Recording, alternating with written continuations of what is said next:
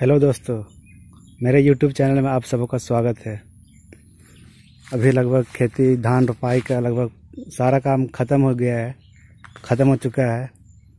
और अब देख सकते हैं गाड़ी किस टाइप से पूरा कादो कीचड़ हो गया है। क्योंकि ट्रैक्टर धान का सीज़न में कहीं भी चलता है, कभी कीचड़ में, कभी दलदल में, जिस कारण पूरी तरह से गाड़ी इस टाइप से गंदी हो जाती है। कंपनी का नाम तक नहीं दिख रहा है कौन सा गाड़ी है। पता भी नहीं चल रहा होगा कि ये कौन सी कंपनी का गाड़ी है।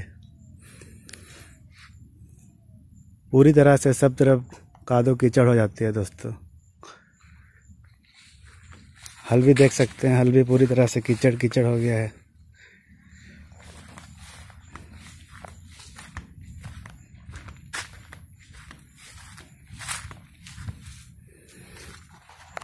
अभी पूरा खेती बाड़ी का काम ख़त्म हो चुका है तो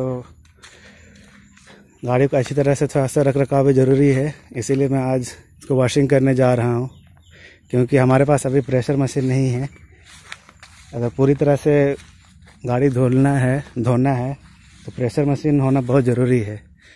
जिस कारण से मैं सोच रहा हूँ कि ट्रैक्टर को मैं वॉशिंग सेंटर ही ले जाता हूँ, वहीं पर अच्छी सर, अच्छी तरह से धुला दूँगा। और ये खेती बाड़ी लगभग दो महीने से चल रही थी तो दो महीने बाद ही वॉशिंग हो रही है, अभी फ़र्स्ट टाइम आज। वीडियो में बने रहिए और देखिए। वॉशिंग करने के बाद किस टाइप से चमकती है गाड़ी?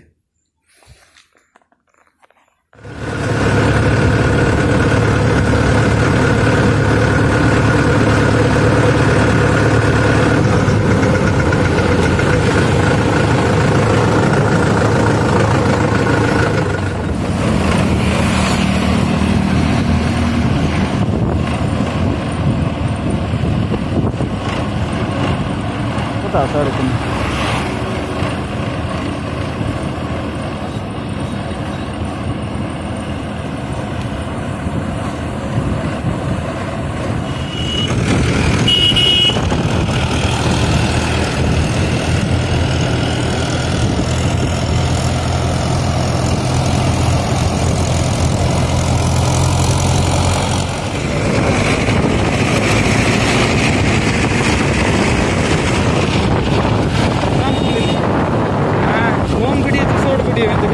Long video